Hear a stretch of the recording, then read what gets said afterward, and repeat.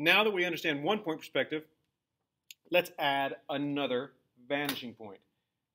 Uh, this is going to make things a little bit easier and a little bit more lifelike. What we're going to do is put two vanishing points, one, two, and not put them close to each other.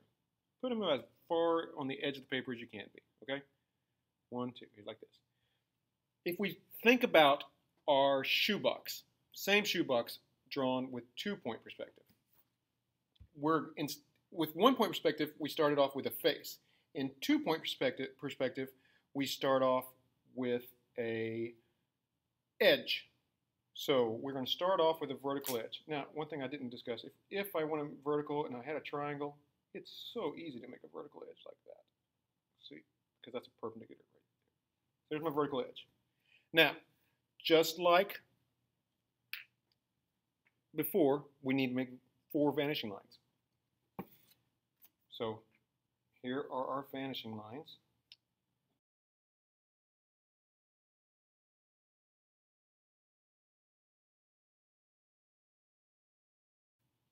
Now I have look what looks like a large V.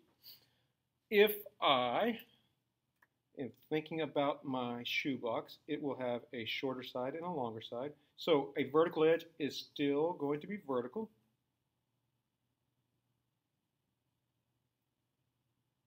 Here. And there's a face right there. I'll make that one darker.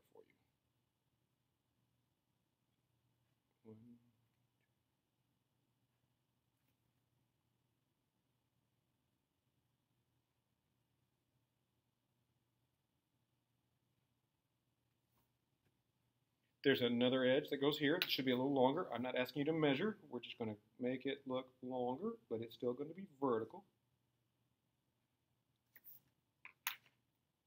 And there is another edge.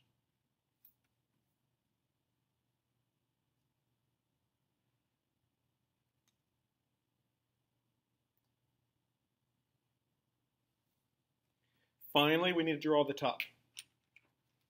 So Here's the top.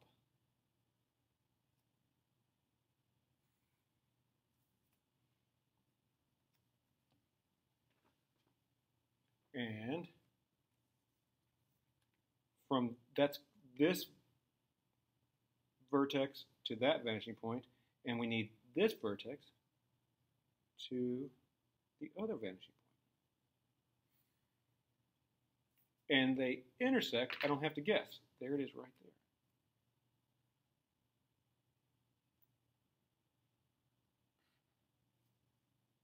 there. And there is my shoebox. Three faces shown. If I wanted to go back and put in the hidden edges, there's one that's vertical straight down there. This one would go from here, headed towards that vanishing point. This one would go from here, headed towards that vanishing point.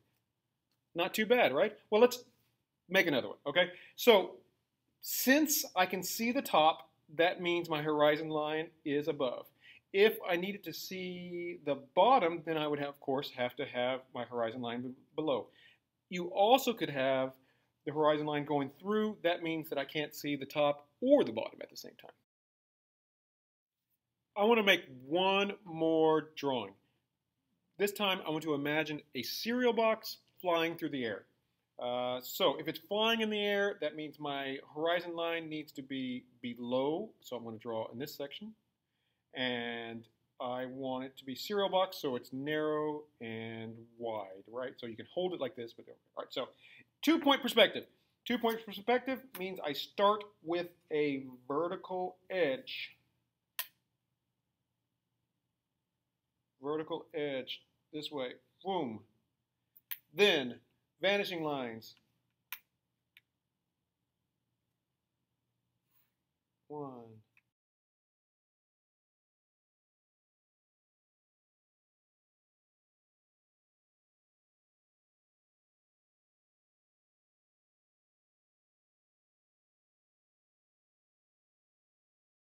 Now, another vertical edge that So we'll make it here that the pizza box is narrowed this way. So vertical perpendicular to my horizon. Here. Now you'll notice that that's very sharp angle. If my paper was bigger, that would be, you know, further away, things like that. So there is definitely an artistic ability to this that I do not necessarily possess. Another vertical edge here. So I have an outline of two of the faces. A bottom of the box will be made with two more vanishing lines. One, two.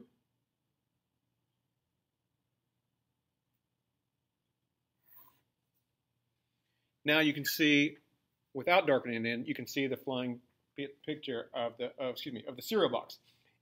As a matter of fact, here would be the image of the Wheaties box or something like that. So let's just, let's go ahead and put that there. There's a box right there. So if, if the label, it would go right there in here.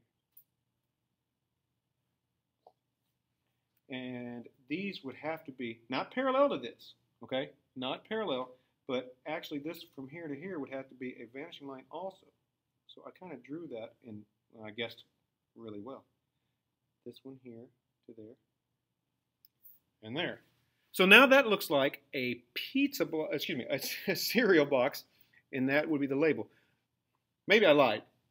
Maybe this is not a cereal box. Maybe, in fact, this is a wooden uh, frame flying through the air. So if it's wooden frame and it's hollow, then I could see through that and, oh, there would be a back edge going there. Now, it wouldn't go on forever and ever. Again, there would be a stopping point. But I don't know where to make that stopping point. Uh, but yes, I do, because this represents the back edge. So I'll get my longer ruler here.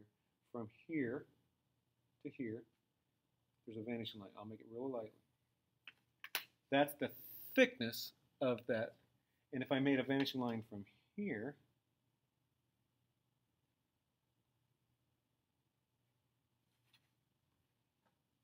that is the top ceiling of the hole. And there'd be a vertical line straight there. From that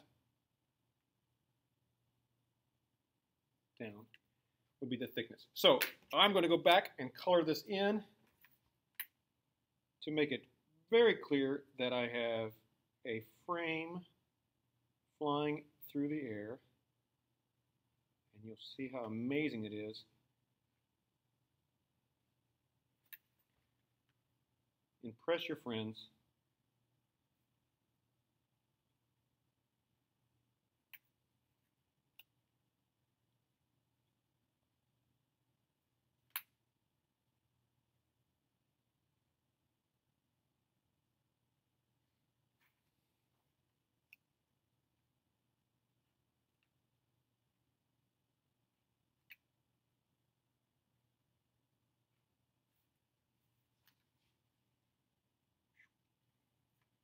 And this one, and this one. I think hidden lines in this case make it harder to see.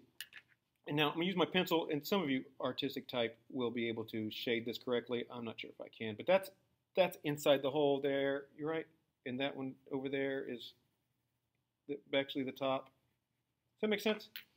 So that looks like a frame flying through the air. Tomorrow, or whenever I see you next, we'll do more of this drawing. So if yours don't look perfectly, that's what we're going to work. I'll work with you, and we will look at making some nice drawings. So just come in with a, your notes, and I'll have a couple questions for you to answer. And look forward to drawing with you tomorrow. Okay? Bye-bye.